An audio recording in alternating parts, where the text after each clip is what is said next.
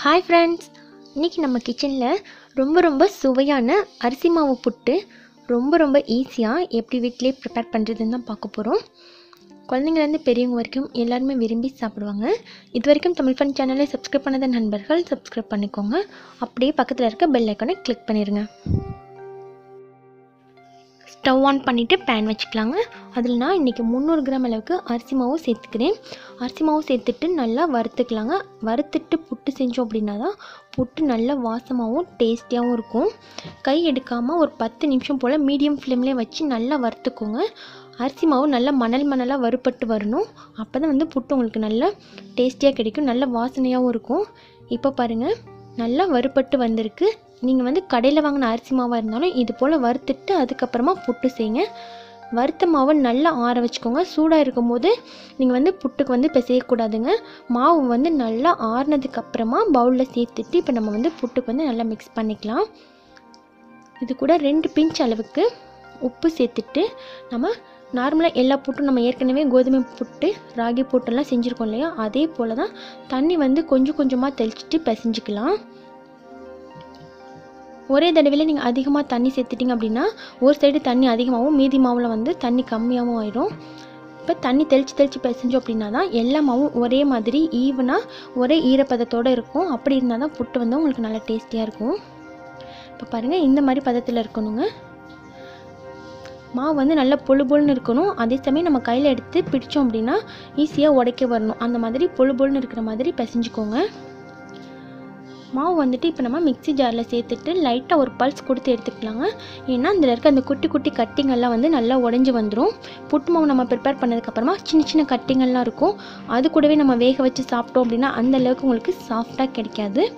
இது போல் மிக்சியில் போட்டு ஒரு பல்ஸ் கொடுத்து எடுத்துட்டோம் அப்படின்னா மாவு வந்து நல்ல சாஃப்டாக இருக்கும்.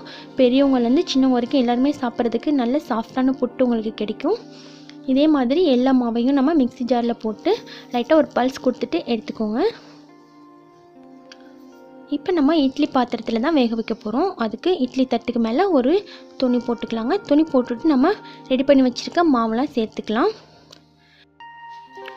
இட்லி பாத்திரத்தில் தண்ணி நல்லா கொதித்து வந்ததுக்கப்புறமா இதை வந்து வச்சுக்கலாங்க. வச்சுட்டு ஒரு பதினஞ்சு நிமிஷம் போல் நல்லா வெந்து வந்ததுக்கப்புறமா நம்ம எடுத்துக்கலாம். ஒருவேளை நீங்கள் அரிசி மாவு வீட்டில் இடிச்சிட்டு வறுத்த மாவு வச்சுருந்தீங்க அப்படின்னா அதை வந்து வறுக்க தேவையில்லைங்க. ஏற்கனவே வறுக்காத மாவாக இருந்தால் மட்டும் வறுத்துட்டு செய்யுங்க.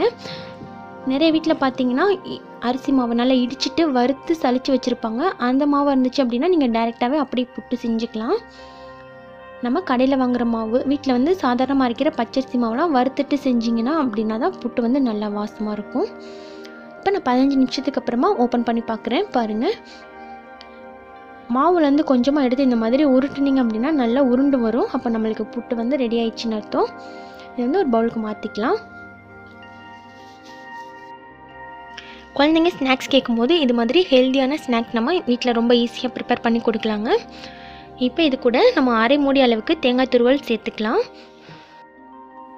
இதே போல் ராகி புட்டு கோதுமை புட்டெல்லாம் நம்ம கிச்சனில் செஞ்சுருக்கோங்க. அதோட லிங்க் வந்து டிஸ்கிரிப்ஷன் பாக்ஸில் கொடுக்குறேன். வேணால் செக் பண்ணி பார்த்துக்கோங்க ஃப்ரெண்ட்ஸ் இப்போ இது கூட ரெண்டு டேபிள் ஸ்பூன் அளவுக்கு நெய் சேர்த்துக்கலாங்க.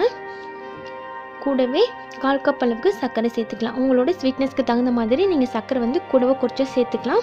நீங்கள் ஒயிட் சுகருக்கு பதிலாக நாட்டு சர்க்கரை கூட சேர்த்து கொடுத்தீங்கன்னா ரொம்ப ரொம்ப ஹெல்த்தியாக இருக்குங்க. இப்போ இது எல்லாத்தையும் நல்லா மிக்ஸ் பண்ணிவிட்டு சர்வ் பண்ண வேண்டியதான் அவ்வளோதான் நம்மளுடைய அரிசி மாவு புட்டு ரொம்ப ரொம்ப சுலபமாக சூப்பராக ரெடி ஆயிடுச்சு. இதே மாதிரி நீங்களும் வீட்டில் கண்டிப்பாக ட்ரை பண்ணி பாருங்கள் ஃப்ரெண்ட்ஸ் இந்த வீடியோ உங்களுக்கு பிடிச்சிருந்துச்சுன்னா மறக்காமல் லைக் பண்ணி உங்கள் ஃப்ரெண்ட்ஸ்க்கும் ஷேர் பண்ணுங்கள் தேங்க்யூ